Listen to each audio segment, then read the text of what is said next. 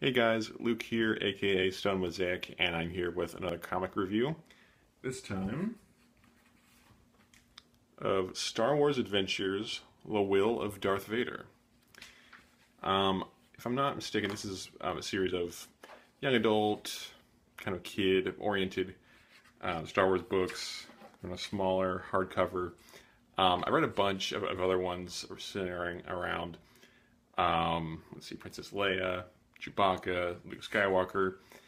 None of them were really that great, but for whatever reason, I thought maybe, maybe at the very least, this Darth Vader, um, Darth Vader story would, be, story would be decent.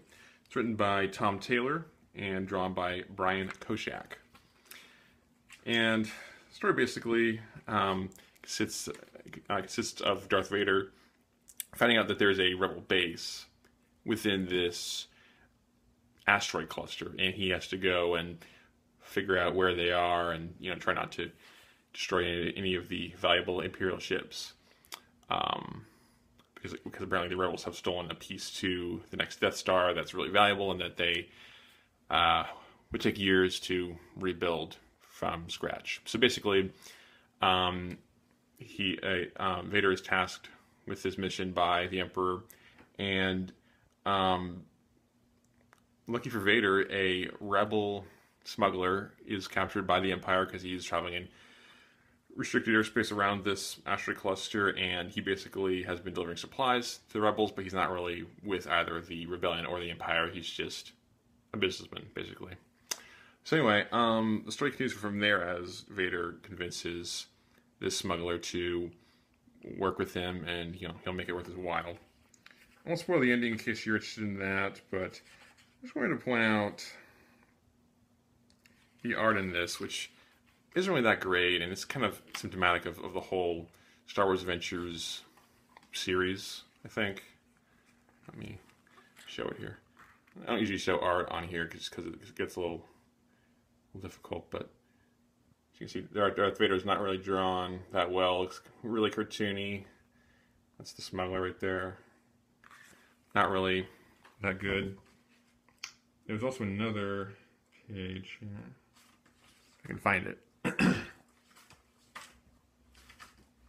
um, and I know imperial officers are not supposed to be beauty queens, but ugh, you know, not really drawn that great, and whole thing is kind of a kind of a bummer. At least it isn't long and drawn out to take you know six issues to, to, to, get, to get to where it's going. So has that going for it. Um, probably give it a one out of five. The story seemed somewhat interesting, but by the time I got about halfway through it, I was just sick of it. And I think I just flipped through the rest, just kind of see what happened, and wasn't really all that all that interesting. Especially since you know that Vader's going to live. You know, he's not going to be killed by the smuggler or by any ragtag group of rebel troops. So, not not that interesting. And unfortunately, Star Wars Adventures, at least for me, is not really worth checking out unless you're a kid and you like really cartoony art and um, if you're some sort of completist. But anyway, um, going to show you, we'll preview what I'm going to be reviewing next time. Get in the frame here. Uh, the Complete Jon Sable Freelance, Volume 1. As you can see, there's also a library book.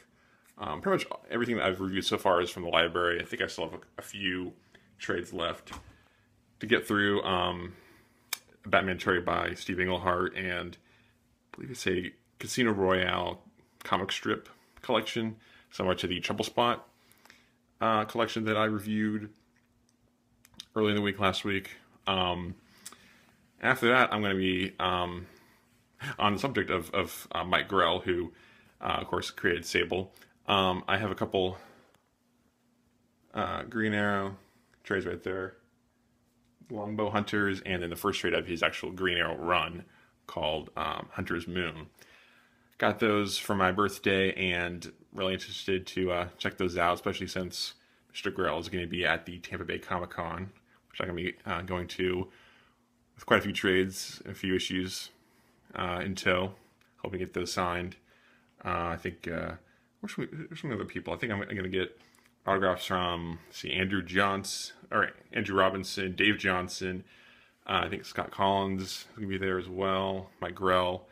Uh, and of course, you have uh, Mark Wol- Marv Wolfman, and then um, I think Jim Steranko is going to be there as well. Though I'm not sure if I have, if I have anything I want him to sign. If I do, he's probably to have a pretty long line all weekend, and I'm only to be there one day. But hopefully, um, the start of the following week, which is the first full week proper of, of uh, August. Hopefully, I'll, I'll review a, uh, re- review of the autographs I get, any photos, and then um, any floppies that I get to uh, round out my, my collection. Because I've heard good things. You can get um, comics for 50 cents to a dollar, and um, my comic shop doesn't really do that. So it'd be nice to see what I can get, any, any uh, issues of interest. So anyway, um, if you like the Star Wars Adventures series and you think I'm I'm full of it, leave a review and uh, let me know why you think it's so great.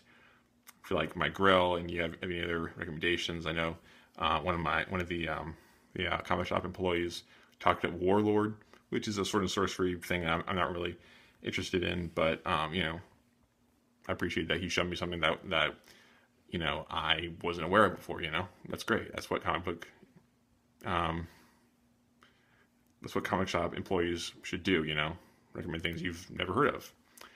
Um, so yeah, uh, Jon Sable review coming out is Wednesday, probably Friday or Saturday. I suspect that, and then a couple more reviews before um, for Tampa Bay Comic Con. Hopefully that'll be good.